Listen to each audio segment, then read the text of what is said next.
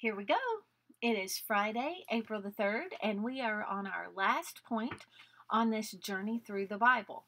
Let's review where we've been so far. 1. Creation. 2. Human beings. 3. The fall. 4. Redemption promised. 5. Abraham.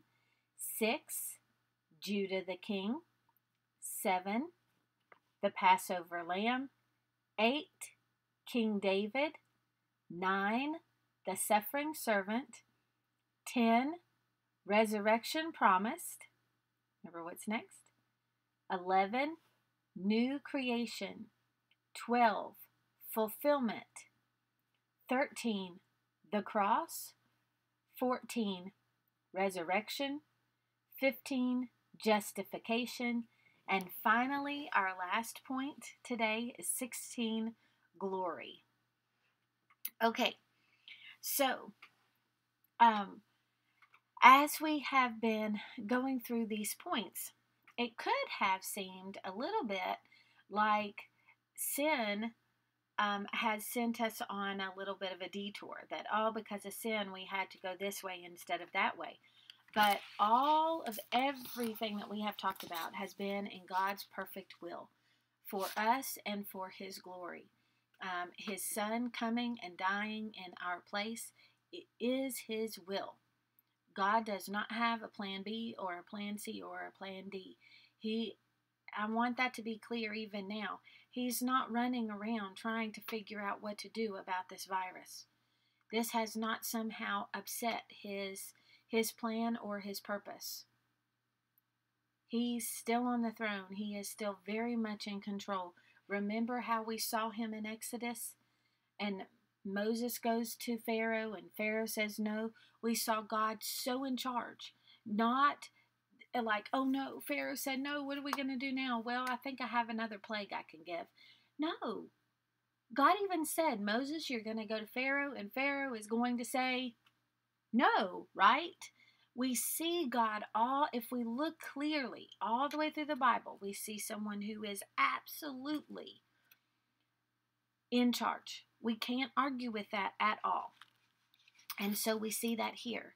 And we have seen as we've gone through all of these different points that God is in charge and revealing his will, will and making it happen as time goes on.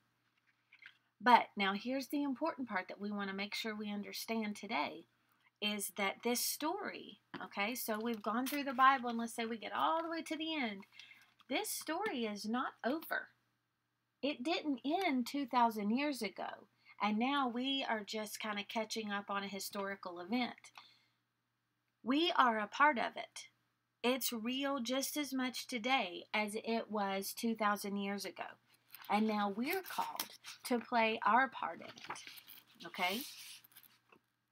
Um, and what um, this says, while Isaiah 65 gave us a glimpse at the new days that were coming, we find the culmination. And the culmination means everything building to one point. Okay? The culmination of the vision is in Revelation. And Revelation is the last book of the Bible that tells us about how God will reign over everything in the end.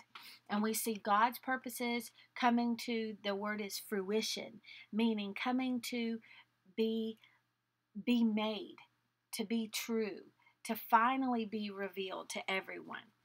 God's people will finally live with God, uncorrupted by sin and death, unharried by worry and pain, unconcerned about whether and how we can earn God's favor. It'll be done. Remember how I've talked to you about how I long for the day when I can live with God and not sin? That I don't know what that's like. I don't know what it's like to love God with all my heart. And I won't know until I go to heaven and I will be able to worship Him without sin. Oh, I long for that. I long for that day. And that is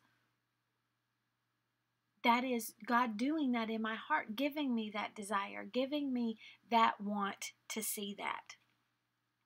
Um, John is the one that wrote Revelation. He was exiled to an island, and while he was on that island, God gave him this vision of what was to come. And, you know, Christians believe different things about what the end times will look like, and that is okay.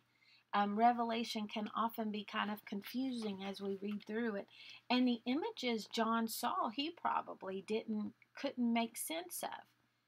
Can you imagine God giving him a vision that had airplanes and cars in it? John wouldn't have known anything about that. So, how would he describe that?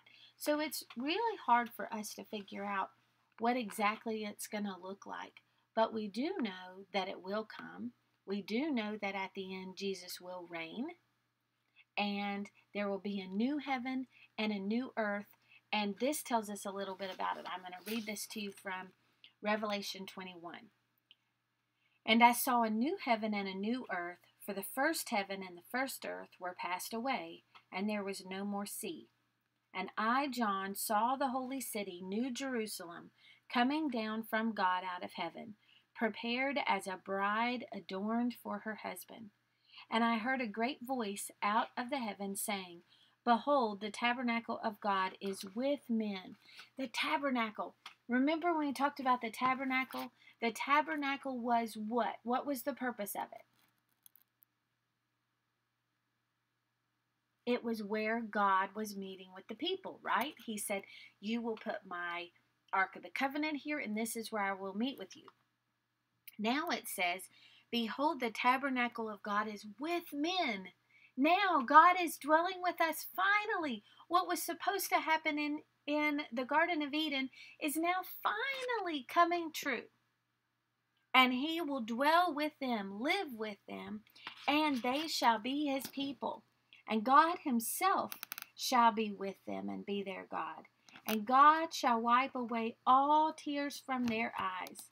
And there shall be no more death, neither sorrow nor crying, neither shall there be any more pain, for the former things are passed away. And he that sat upon the throne said, Behold, I make all things new. And he said unto me, Write, for these words are true and faithful. And he said unto me, It is done. Done. I am Alpha and Omega, the beginning and the end. I will give unto him that is athirst of the fountain of the water of life freely.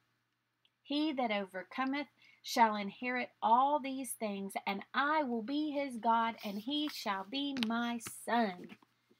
Isn't that a wonderful promise? That's the promise that we have. We have He that overcomes. Jesus has overcome for us, and I'm going to get all the way to the end. And when I get all the way to the end, I will be able to worship God with no sin, with my full heart in His presence.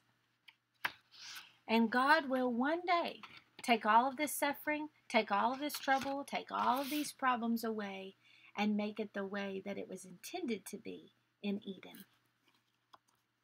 It says, The curse will be irreversibly crushed, and we will experience what Adam and Eve were only beginning to taste in the garden. That dwelling place of God will permanently be with man, and that's a thread that we can see all the way through, right?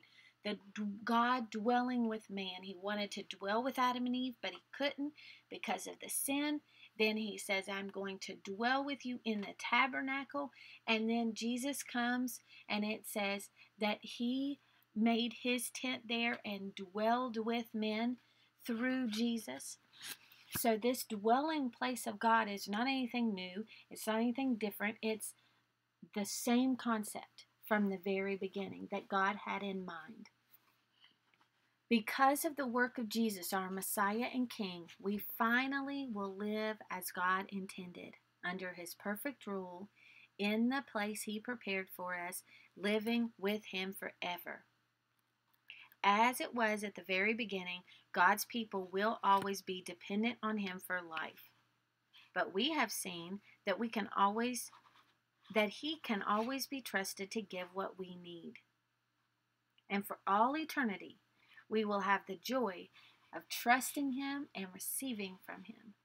And we can have that joy now as I lean on Him, as I trust Him to provide my needs, to take care of me, even in craziness, even in weird situations where I'm teaching you from my own and you're sitting at home watching me. Even in these crazy times, we can lean on God and trust Him that He is giving us what we need. This is what we were made for to live in and enjoy the life giving presence of God. To love Him and to enjoy Him. That's why I was made. God wants me to enjoy Him.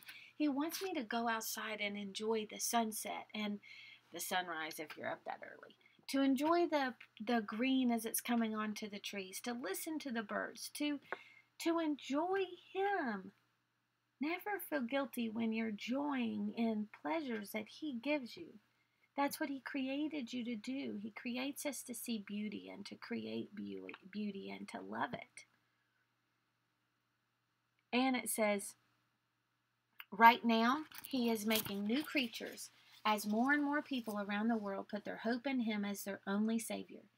And He calls us, this is your job now, okay? He calls you to proclaim the good news to this world that is still suffering in sin and death.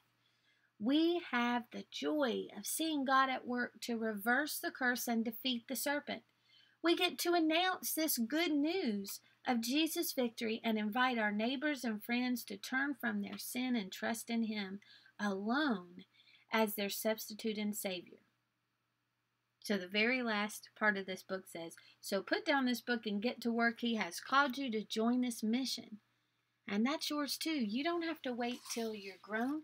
You don't have to wait till you're older and you can go do this or that. As we have joy in our hearts, we just simply talk about it and we share with other people. Now, if if you're struggling feeling that joy and dependence on Jesus, that's where I want you to start though.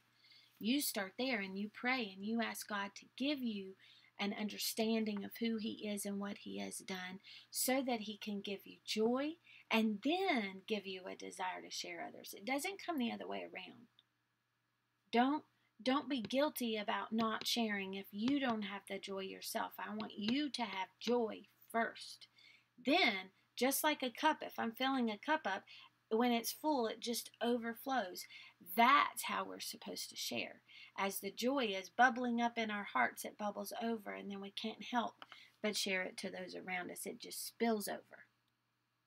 Okay, but if my cup is low, it it's just me kind of dipping my fingers in and spraying it out when I'm telling people, and that it doesn't communicate as well. Okay. All right, let's put the whole story together. Here we go. Are you ready? God created a kingdom, and He is the king. But He made human beings to represent Him in that kingdom. Adam and Eve rejected this call, which led to sin and death. But God promised to defeat the serpent through the seed of the woman, who is also the seed of Abraham.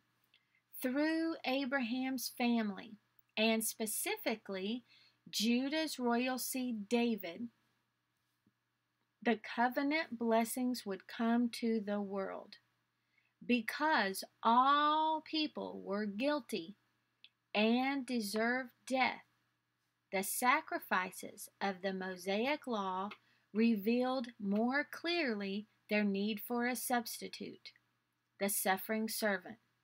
Through the servant and the work of the Spirit, God would establish a new covenant and give lasting life to his people in the new heavens and the new earth.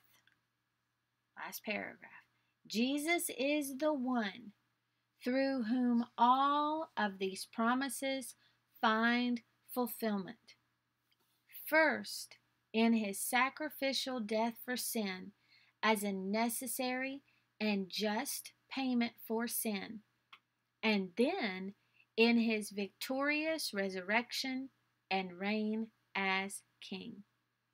This great story will find its culmination ending when the redeemed from every tribe, tongue, and nation gather in the new creation to live with God forever. Let's pray. God, we thank you for your plan. We thank you that you have worked it all out before um, we were born, before time began. And we thank you that you have made us a part of it. I pray that you would give us uh, that joy in you and dependence on you as we uh, seek to live our lives to honor you. That you would give us a joy in what you have done for us and continuing to do that we would want to share with other people. I pray for each of my students today. I pray that you would give them a good Friday, that you would um, help them as they are um, with their families, that you would help them to get along, that you would give them good, fun days. I pray that you would help us to trust you in the middle of, of weird, unusual, and sometimes a little scary times, that we would trust you um, to continue to work out your plan in our lives and in the world around us. We do pray for our leaders and those in charge that you would give them wisdom and help them during this time. In Jesus' name we pray. Amen. I love each one of you, and I hope you have a great day and a wonderful weekend.